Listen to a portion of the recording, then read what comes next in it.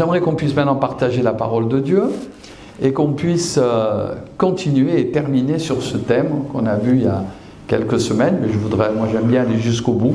Hein, donc euh, on a vu ce que le Seigneur nous demande de mettre ou de ne pas mettre, hein, ce qu'il faut, ce que le Seigneur nous dit de mettre, ce qu'il faut mettre, et puis ce qu'il ne faut pas mettre, parce qu'il y a des choses qu'il ne faut pas mettre. Et donc euh, le Seigneur nous le demande. On a vu, la première des choses, c'est que le Seigneur nous dit de mettre à nos pieds, qu'est-ce qu'il nous dit de mettre à nos pieds? De mettre le zèle que donne l'évangile de paix.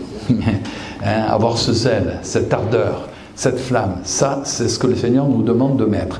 Hein, si on l'a perdu, ben renouvelle la flamme et tu vas voir, ça va repartir. Et à nouveau, la grâce de Dieu va se manifester. Seigneur aussi nous dit de mettre, de mettre notre honneur à vivre tranquille. Cool. T'agite pas, t'énerve pas, reste cool. Seigneur va s'occuper. Si tu t'agites, rien va se passer. Mais si tu restes dans la paix, sois tranquille. Et si tu fais confiance à Dieu, Dieu va s'occuper. Il est capable d'agir au-delà de ce que tu peux penser, demander. Le Seigneur aussi, nous, on l'a vu, nous a dit de, le mettre à l'épreuve. Hein? Mettez-moi à l'épreuve, dira le Seigneur, et vous verrez si je n'ouvre pas pour vous les écluses des cieux. Hein mettez Dieu, faites un challenge, mais le Seigneur s'occupe. Et le Seigneur, il aime qu'on le mette à l'épreuve et il répond quand c'est vrai. Et puis, on a vu aussi, il y a des points positifs, il y a aussi des points négatifs. Le dernier point qu'on avait vu, le Seigneur nous dit de nous mettre en garde contre les hommes, d'être vigilants, surtout dans les temps où nous vivons. Hein. on a besoin d'être vigilant, d'être prudent. On voit très bien que c'est des temps de la fin, que il y a toute une confusion dans tous les domaines, hein, que ce soit dans le domaine politique, dans le domaine humanitaire, dans le domaine social, dans le domaine religieux. Et pour nous, eh bien, si nous sommes enfants de Dieu, il faut faire attention et faire attention euh, comme le Seigneur le demande, parce qu'ainsi nous pourrons voir la gloire de Dieu. Il y a d'autres euh,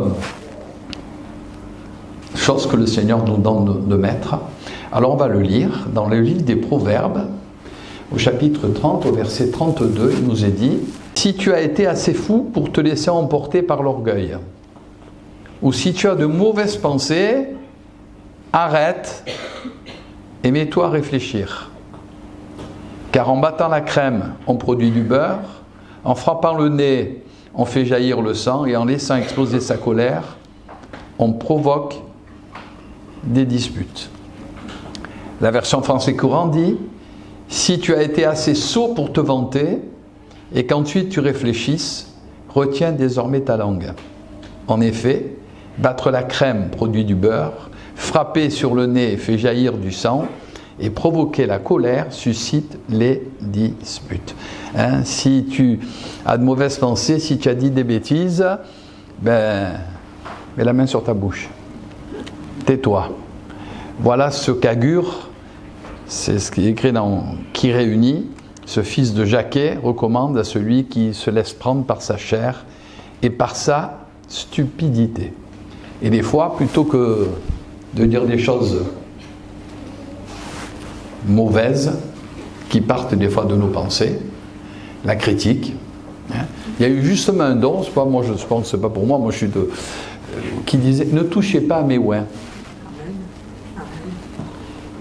Et touchez pas aux chrétiens. Et touchez pas l'Église. Et critique pas mon frère, ma soeur. Parce que je peux le dire, moi j'ai vu tous les gens qui ont critiqué d'une manière négative, on peut très bien ne pas être d'accord. On peut très bien, parce qu'on n'est pas des, euh, des, des bénis oui-oui, mais entre dire je suis pas d'accord et dire du mal, c'est autre chose.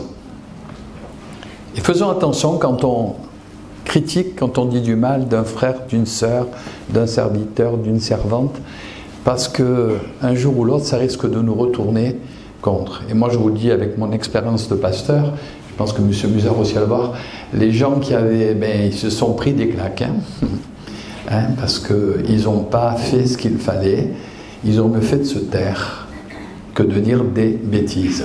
Hein. Pour ça, quand on, on fait des choses qui ne sont pas à la gloire de Dieu, tais-toi. Je ne sais pas, je ne comprends pas, c'est peut-être juste, mais je raconte pas n'importe quoi, n'importe qui, sur le frère, sur la sœur, sur le pasteur Intel. Non, je laisse le Seigneur faire. Et quand on met la main sur sa bouche, on évite eh bien, de, de passer à côté de la bénédiction du Seigneur. Il faut savoir se taire quand il faut se taire. Hein? Même dans l'église, tais-toi, tu ne sais pas ce qui se passe. Pourquoi tu dis ça? C'est pas vrai Pourquoi tu racontes ça? Tu extrapoles. Mais c'est pas la gloire de Dieu. Et tu fais mal à l'œuvre de Dieu. Et puis ceux qui t'entourent, les personnes nouvelles, eh bien peut-être euh, ils ne comprennent pas et tu risques de les blesser, tu risques de les heurter. C'est pour ça que le, Seigneur dira, si l'orgueil te pousse, derrière tout c'est l'orgueil, c'est moi, hein? C'est moi. Hein? Et ouais, moi je me rappelle, quand j'étais dans une certaine église, quelqu'un disait, pasteur, moi c'est comme ça et c'est pas autrement. Ben, j'ai dit, vas-y, c'est pas autrement. Ben, il s'est cassé la figure. Parce que c'est tellement, j'ai dit, tu ferais mieux de te taire et de rester humble et petit. Non, moi c'est comme ça, pasteur. Je fais comme je veux. Ben, je dis, fais comme tu veux. Seulement, après, comme il, est tombé bien bas, il aurait mieux fait de se taire. Et il aurait mieux fait, au lieu de parler, de réfléchir. Et des fois, dans certaines situations, au lieu de parler pour dire des bêtises, réfléchis. Essaye de comprendre la situation et mets la main sur ta bouche, tais-toi.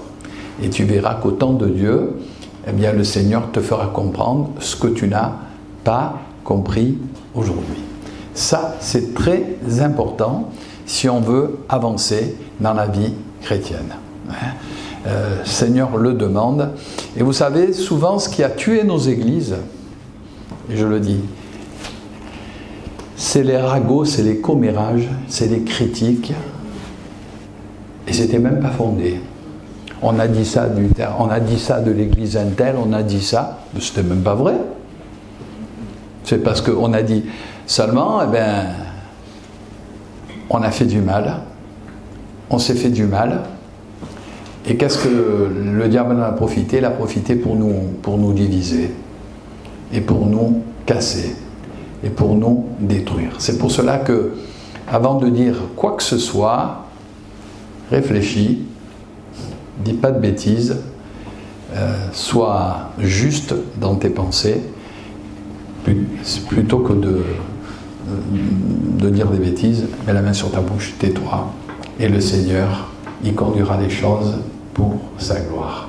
Hein, pour cela. C'est bien. Pour cela aussi, je ne l'ai pas fait, je le dis, c'est dans la prédication. C'est pour ça que je veux que Claude vous explique aussi comment fonctionnent les églises de Nice. Hein, afin que vous ne racontiez pas ce qu'il n'a pas raconté. Hein. moi, je suis venu pendant deux ans, hein, parce que c'est Fred Lenormand qui m'avait demandé, il y a deux ans au congrès, parce qu'il n'y avait pas de pasteur pour Nice. Et comme moi, je suis natif de Nice, j'ai toujours prié pour Nice. Et quand Fred m'a dit, tu pourrais pas venir nous donner un coup de main, faire une passation, je dis avec plaisir, Fred, hein, parce que Nice, c'est ma ville, c'est mon église. J'ai été petit à Cimier pendant. Et euh, donc, avec ma femme, on est venu, on a été très heureux Hein? voilà, de travailler avec vous, de faire l'œuvre de Dieu. On va travailler jusqu'au bout. Hein? Et, le Seigneur va conduire les choses. Et, quand c'est clair et net, et c'est comme Louis, comme ça s'est fait, j'aimerais vous dire, c'est vraiment Dieu qui a conduit les choses. Je suis très content que ce soit lui. Hein? Je cherchais encore, parce que j'avais demandé à plusieurs pasteurs, jeunes pasteurs, et puis merci Seigneur, parce que ceux que j'avais demandé, aucun pouvait venir. Ils sont tous pris d'ailleurs. Hein, et ils sont reconnus comme Laurie. Ils m'envoyaient tous les photos. J'étais content. J'ai ah. Et c'est bien parce que j'ai pu avoir Laurie, surtout que Laurie, il était aussi beaucoup demandé. Donc c'est une grâce de Dieu qui vienne à bois Je crois que Dieu va vous bénir avec le frère et la sœur et que vous allez aller plus loin dans le plan de Dieu. Amen. C'est pour ça qu'il faut être au clair et pas raconter n'importe quoi, même concernant euh, le travail et l'organisation, afin que la gloire de Dieu se manifeste. Euh, Seigneur nous le dit, si tu tais-toi, laisse faire, et tu vas comprendre et Dieu va bénir, autrement tu vas te faire mal. C'est Jésus qui dira par contre dans Jean 6, 37, Tout ce que le Père me donne viendront à moi. Et par contre, il a dit, je ne mettrai pas dehors celui qui vient à moi.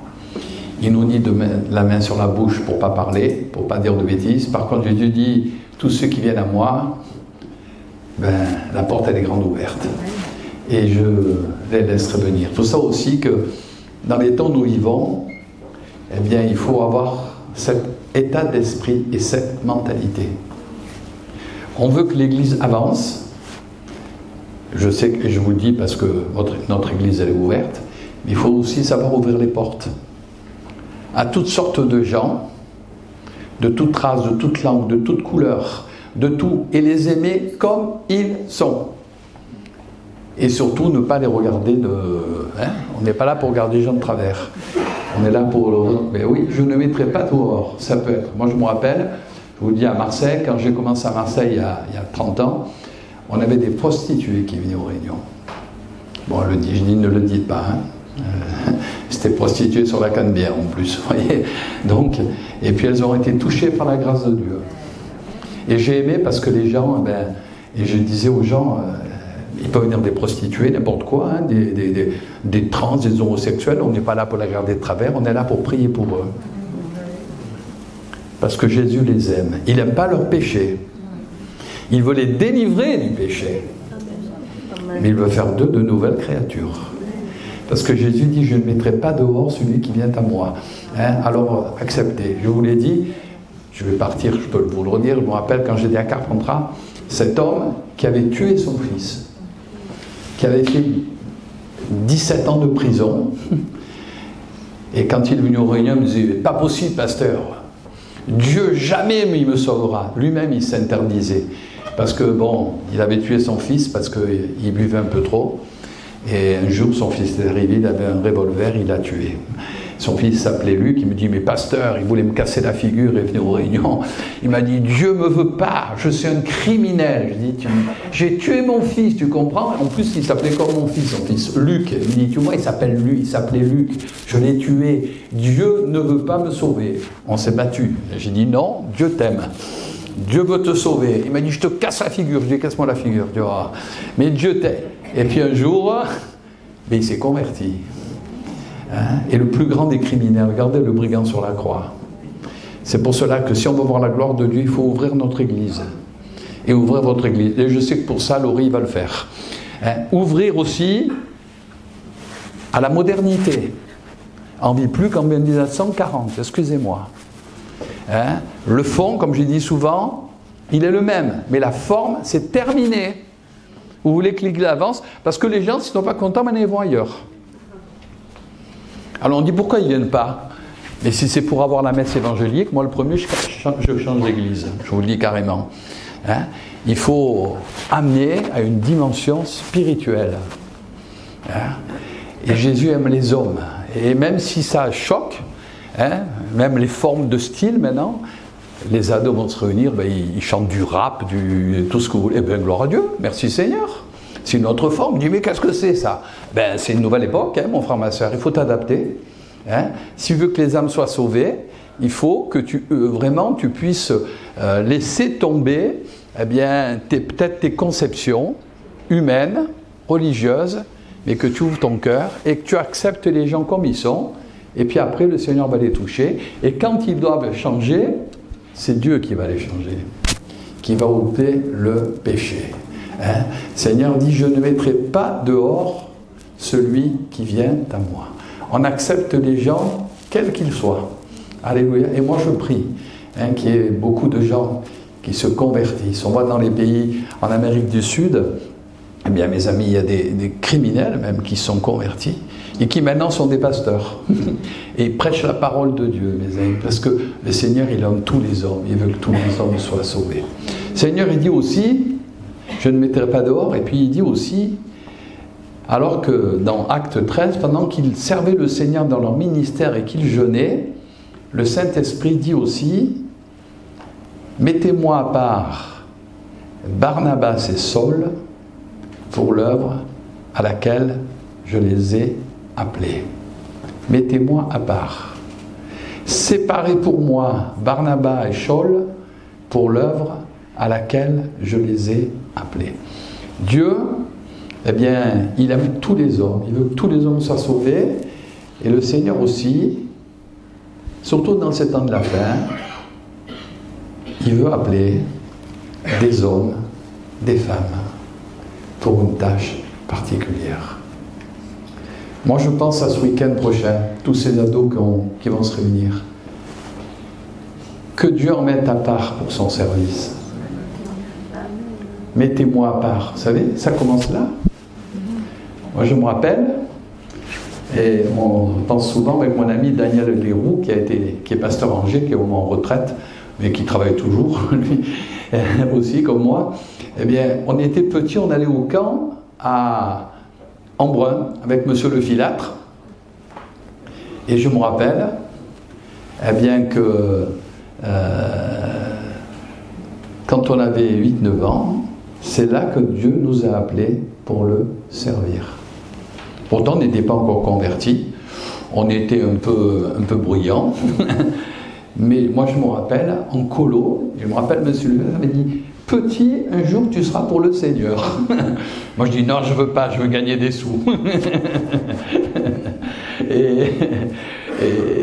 mais bien Et Daniel aussi, hein, on est toujours restés potes. Et d'ailleurs, cette semaine, il était au Il m'a dit, tu n'es pas venu? Je dis, non, non, je ne suis pas venu. Au mois de septembre, octobre, je viendrai au congrès, mais là, là je ne peux pas parce que je fais trop d'allers-retours.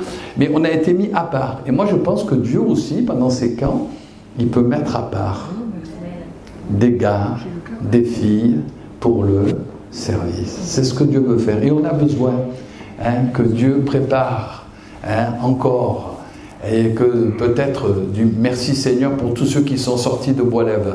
Alléluia, parce qu'on a eu beaucoup qui sont sortis de Bois-Lève. Hein? Et oui, c'est bien. Hein? Euh, le fils d'Annie Gachet, Philippe, il est tout content parce qu'il dit Laurie, il était de l'église où je suis de Brest. Je dis Ah, ben tu vois, hein? il a pris la photo avec lui.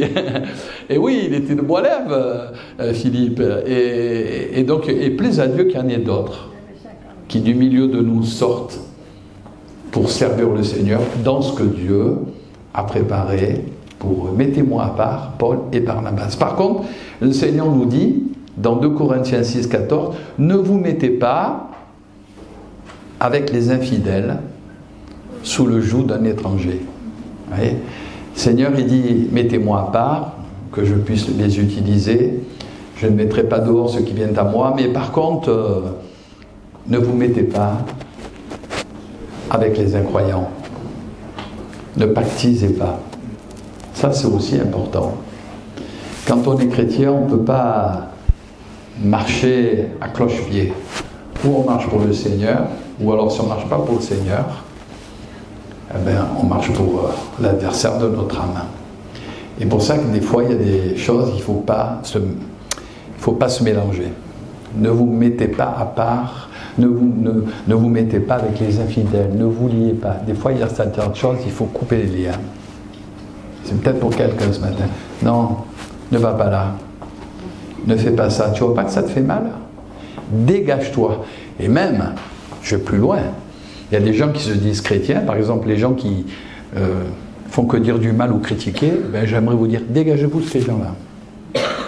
Ne vous mettez pas avec eux parce qu'ils vont vous infecter. Et ils vont vous troubler. Et comme le dit euh, la parole de Dieu, il faut se séparer, pas se mettre à part. Hein. il faut s'entourer de gens positifs afin que la gloire de Dieu se manifeste. C'est le Seigneur aussi qui dira de ne pas nous mettre, Galates 5.1, c'est pour la liberté que Christ nous a affranchis. Demeurez donc ferme et ne vous laissez pas mettre de nouveau sous le joug de la servitude. Le joug de la servitude, c'est le légalisme. C'est un peu l'histoire des Galates. Hein. Certains voulaient les faire revenir à la loi.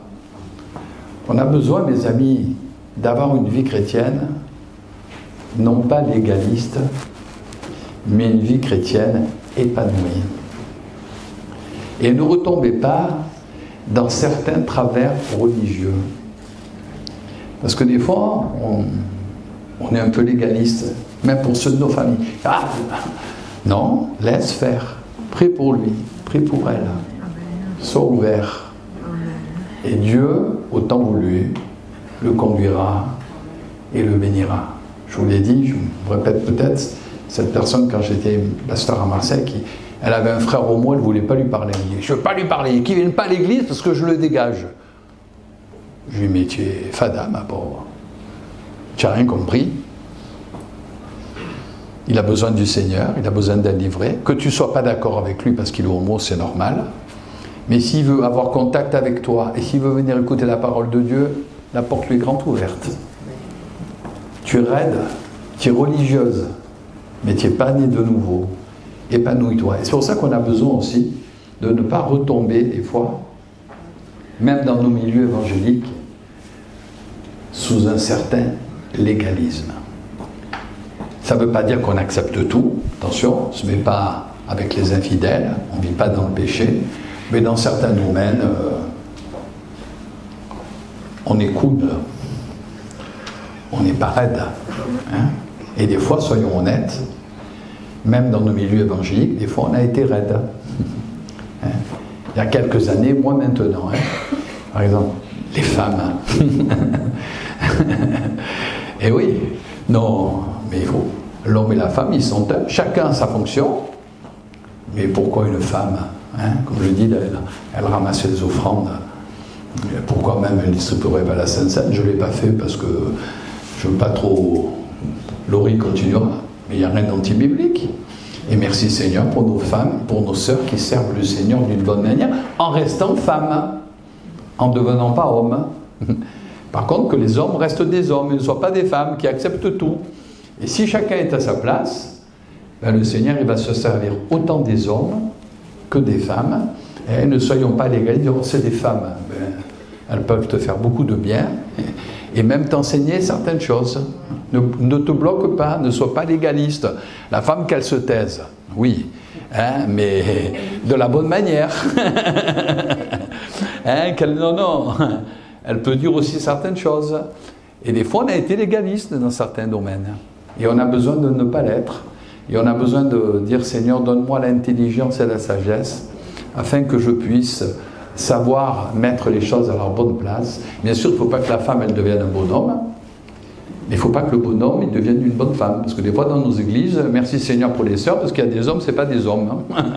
Hein, pas ici, mais j'en ai connu. Et merci Seigneur qu'il y a eu les sœurs, parce qu'il n'y avait pas d'hommes qui étaient là pour, pour dire les choses de la bonne manière ou pour prendre les choses en main. Et heureusement qu'on a eu des sœurs qui se sont engagés, qui ont servi le Seigneur. Hein. C'est pour cela que le Seigneur nous dit de ne pas, de ne pas être négatiste, mais rester dans cette optique eh bien, ouvert, libre, et nous verrons la gloire de Dieu. Enfin, je termine, le Seigneur dira, et ça c'est important, mettez en pratique la parole, et ne vous bornez pas à l'écouter en vous trompant vous-même par de faux raisonnements. Voilà. Mets en pratique. Ce que Dieu te dit, fais-le. Et ne te borne pas simplement à l'écouter. En te trompant toi-même par de faux raisonnements. Ah, je sais, pasteur. Oui, mais tu ne changes pas. Oui, mais tu es toujours comme ça. Au lieu de mettre la main sur ta bouche, tu dis toujours des bêtises. tu fais toujours. C'est pas la gloire de Dieu. Fais ce que Dieu te dit.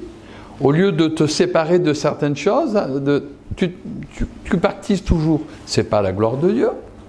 Hein. Et puis, tu as toujours cet esprit légaliste de jugement, c'est pas la gloire de Dieu. Hein. Fais ce que la parole de Dieu te dit. Agis en conséquence. Et si tu agis en conséquence, si tu mets en pratique la parole, si tu obéis à ses commandements, je le fais parce que Dieu me dit de le faire, tu vas voir le Seigneur te bénir tu vas voir le Seigneur se manifester parce que simplement, tu auras obéi et tu auras mis en pratique ce que Dieu te dit dans sa parole. Ce qu'il faut autorité, c'est sa parole. Alors mets en pratique ce que dit la parole. Fais ce que Dieu te dit. Hein. je le sais, oui, mais ça ne sert à rien de le savoir et de ne pas le mettre en pratique.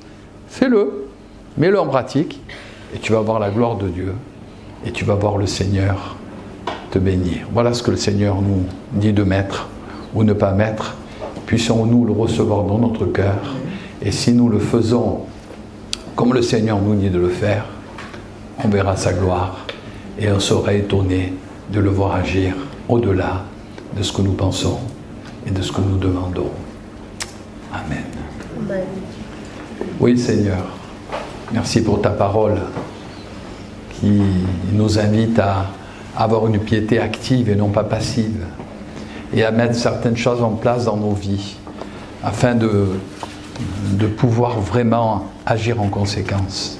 Nous ne voulons pas simplement savoir, mais nous voulons faire selon ton plan et dans ta volonté.